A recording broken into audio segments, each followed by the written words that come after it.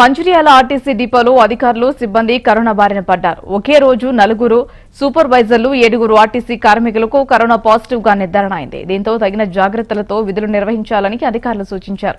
బస్సులను ఎప్పటికప్పుడు శానిటైజేషన్ చేయిస్తున్నామని ప్రయాణికులు కోవిడ్ నిబంధనలు పాటించాలని డీఎం విజ్ఞప్తి చేశారు. వరుసగా సెలవులు రావడంతో బయట జన సంచారం పెరిగి వైరస్ వ్యాప్తి విస్తరిస్తుందన్నారు. జిల్లా కేంద్రంతో పాటు నర్సులు ఇక శ్రీరాంపూర్ బెల్లంపల్లి పట్టణాల్లో అధికంగా కేసులు నమోదు కావడంతో జిల్లా ప్రధాన ఆసుపత్రులకు వందలాది మంది కరోనా పరీక్షల నిమిత్తం బారులు తీరారు.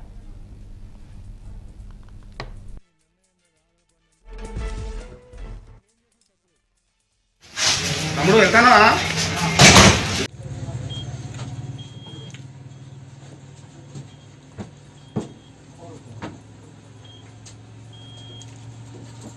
ఏం అన్నా